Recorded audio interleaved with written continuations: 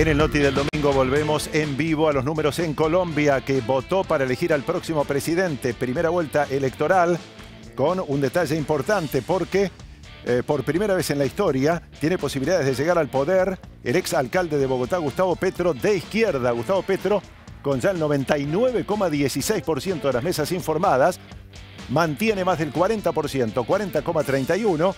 Rodolfo Hernández queda en el segundo lugar este magnate inmobiliario, con fuerte mensaje anticorrupción en la campaña, está logrando un 28,20 y queda relegado al tercer lugar con el 23,87 Federico Gutiérrez. Fico Gutiérrez, el candidato de la derecha tradicional.